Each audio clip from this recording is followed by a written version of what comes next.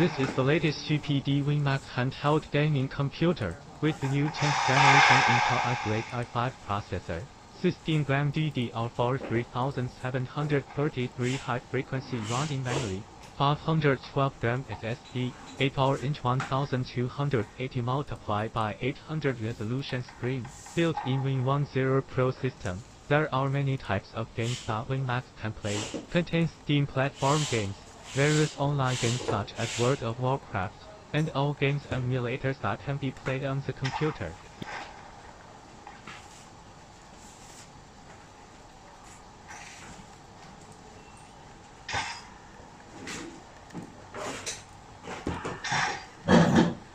Even equipped with Thunderbolt 3 interface, can be connected to the graphics card through the graphics hub.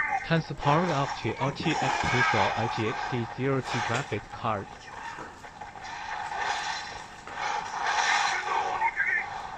Gain effect can be set to lead the handheld industry. The Korea masterpiece before 2016 basically reached 50 frames. The game in recent years has been basically stable for 30 frames. Online game like in World of Warcraft 25 player group version reaches 50 to 60 frames.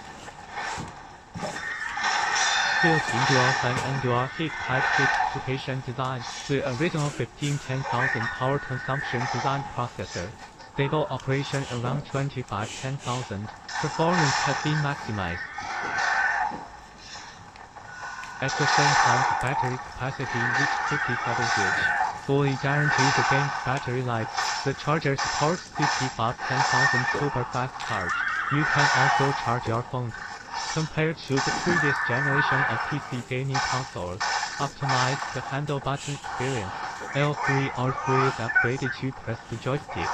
Rich expansion interfaces throughout the device. Standard HDMI 2.0, Thunderbolt 3, RJ4 or at a network cable interface. More than 4 USB ports. It's so unbelievable. Maybe did not think of itself as a mini handheld. The shell is made of magnesium alloy technology. Take it all as a super office book, equivalent to more than $2,000 surface. Just ask you if IGG for still $779. Nice.